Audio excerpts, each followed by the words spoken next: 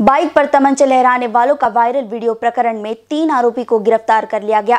Social media पर तमंचे लहराते हुए बाइक सवार युवकों का वायरल वीडियो का संज्ञान लेते हुए तत्काल थाना शिकारपुर पर सुसंगत धाराओं में अभियोग पंजीकृत किया गया। तथा पुलिस द्वारा त्वरित कार्यवाही करते हुए तीन अभियुक्तों को मैत दो तमंचे, कारतूस व बुलेट मोटरसाइकिल सहित गिरफ़्तार किया गया। शेष की गिरफ्तारी के सार्थक प्रयास किए जा रहे हैं। गिरफ़्तार अभियुक्तों का नाम व पता कुछ इस प्रकार।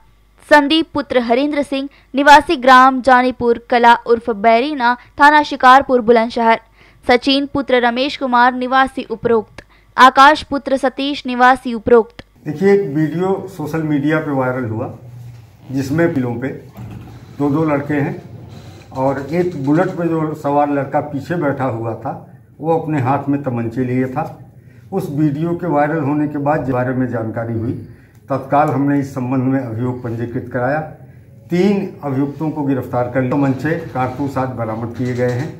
बुलेट मोटरसाइकिल जिसमें बैठकर स्टंट कर रहा था, वो बरामद कर ली गई है। एक, इसमें जो सक्रिय भूमिका का अभियुक्त है, फौजी है, उसकी तलाश की जा रही है। गोलू उर्फ़ ललित चौधरी, इसके बारे में बताया गया कि सेना में नौकरी करता है, छुट्टी आया हुआ है। फ़िलहाल उसकी तलाश हम कर रहे हैं। अभियुक्तों की गिरफ्तारी एवं बरामदगी के संबंध में थाना शिकारपुर पर अग्रिम वैधानिक कार्यवाही करते हुए अभियुक्तों को माननीय न्यायालय के समक्ष प्रस्तुत किया जा रहा है। इन बीसी न्यूज़ के लिए बुलंदशहर ऐसी जावेद खान की रिपोर्ट।